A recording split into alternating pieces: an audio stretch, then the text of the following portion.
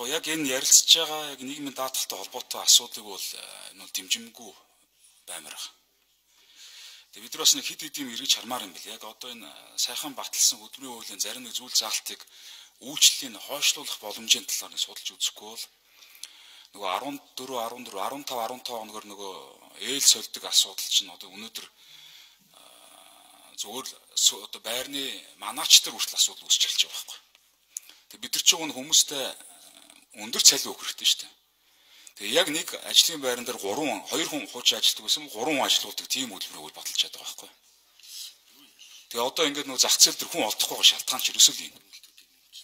Тэгээ уг нь бид нар ч одоо ахиухан өндөр цалинтай хүмүүсээ одоо ажилладаг баймаар байтал нэг ажил дээр 3 хүн ажил, 2 хүн ажилладаг байсныг 3 хүн болгочихор чи яаж тэр хүмүүс ч өндөр цалин авах юм.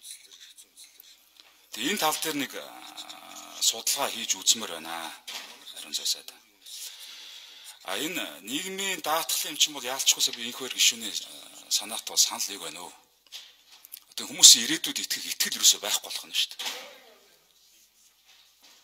Энд чи одоо уус аваад татвар авчаад ингээд буцааж өгдөг асуудал биш шүү дээ. Энд чи өөрийнхөө хувийнхаа тэтгэврийн сан дээр хөрөнгөлтөй авчдаг асуудал шүү дээ.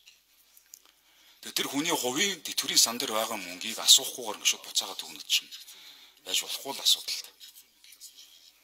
Яг гоо цаг үе бол хүнд байна. Тэг яг гоо энэ дээр бол зөвхөн ямар саналууд байж болох вэ гэхээр уг нь бол бид нар нөгөө нөөтийн буцаалт гэдгийг зөвхөн хүнсний бүтээгдэхүүн төр нөөтийн буцаалтын хувийн жиг өндөр болоод өгсөн болвол энэ олон тэр үн докторжуулах хөтөлбөрч гэдэг юм уу За одоо нийгмийн даатгалын одоо орж иж байгаа саналч гэдэг юм уу тэрнээс илүү бодиттой байгаа онсон байх байсан болов уу гэдэг байна. Одоо манай татварын систем ч юм бол их сайхан цахимжаад ойлгомжтой болсон шүү дээ. Тэгээ нөөтийн буцаалт одоо өгдөг бүх данснууд нь холболт нь байж байгаа. Тэгээ иргэд маань одоо хүнс дэлгүүрээс хүнсээ авахт нь л тэр нөөтийн буцаалтыг за тэр 10% биш юмаа гэж яаж 9% ч юм уу 8% ч юм ингээд буцаалт нь хийгээд өгчүүл яг бодтойгоор үний өсөлтийн эсрэг бодлого болж чадсан байхгүй. Бодтойгоор тэр хүнс авахт нь тус нэмэр болох байсан байхгүй бодтойгоор тэр хүний тэтгэврийн санал нь гараад өрөх биш. А харин улс өөрийнх нь авдаг дотроос л хөнгөлтөө үзүүлэх асуудал байсан байхгүй.